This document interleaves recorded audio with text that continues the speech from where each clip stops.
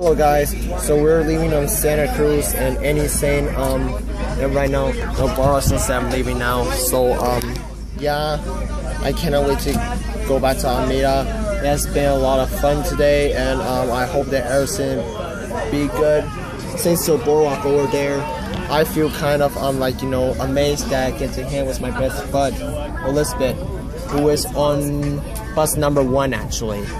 But anyways, this is a this is this is gonna be a fun day today, and um, I cannot wait to come back here again very soon. This is me signing off. Peace or not. Have a good weekend. Bye.